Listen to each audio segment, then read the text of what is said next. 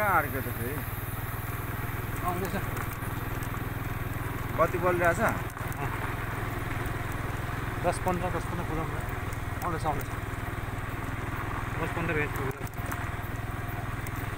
तिम्रो डर त लागेको छैन नि। लागिरहेको छ नि जाँटा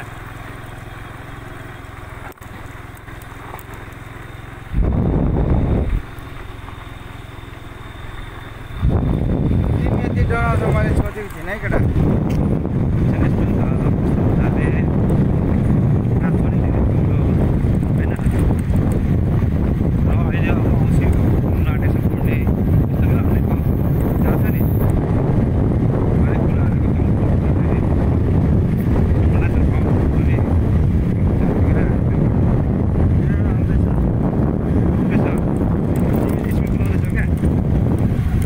Nah, nah, nah, nah.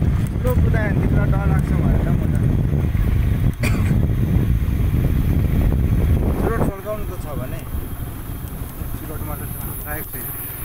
Road सल्काउनु छ रोड सल्काएपछि त पालै भएन